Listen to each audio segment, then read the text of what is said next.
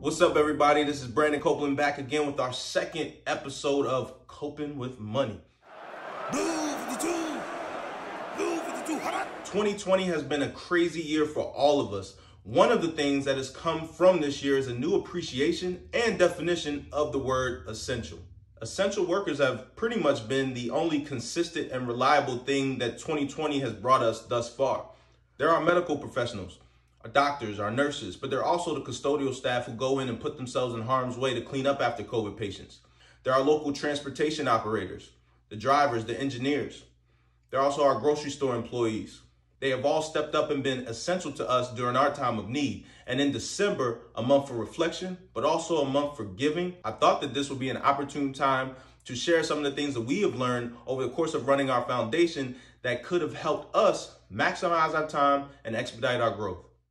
First and foremost, fully understand your passion, where you plan to, and how you plan to make an impact. Second, understand that your time will be the most consistent charitable contribution that you will make.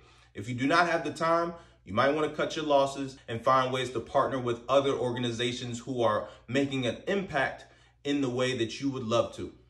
Third, when it comes to fundraising, make sure that you're maximizing every donation into your organization. See if a donor has a company match that they're willing to take advantage of.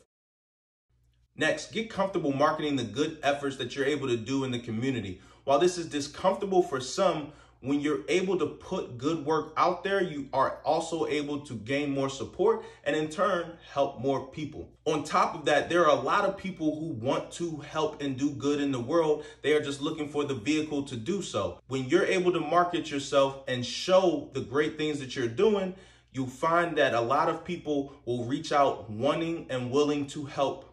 And finally, collaborate, collaborate, collaborate. As we all know, we're able to accomplish much more together. And the great thing about doing good is there's no competition in that.